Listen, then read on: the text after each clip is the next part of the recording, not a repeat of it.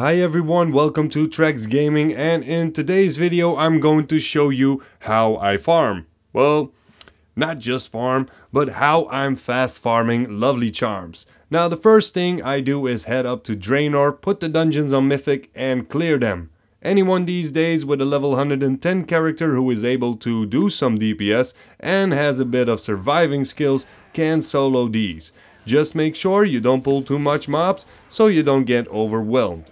While you are killing these mobs, you don't need to loot them, cause when you are active on the gift for the War Chief quest, you just need to have the lovely charm collector's kit in your bag, and the lovely charms will be auto looted. So looting everything is not necessary, but every coin counts, so I'm looting every corpse anyway, and I got the nice transmog items as well.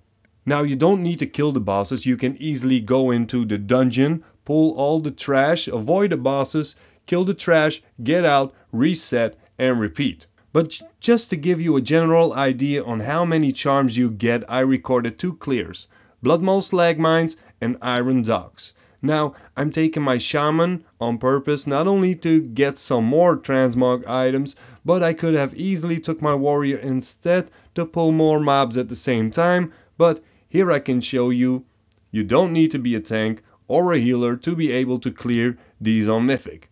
Now as you can see I got 46 charms in my bag, I already made two necklaces, so I got 66 charms out of two cleared dungeons. And you need 40 to do the 4 War Chief daily quests, so you can farm a day to gather up enough to save for several more quests during the event.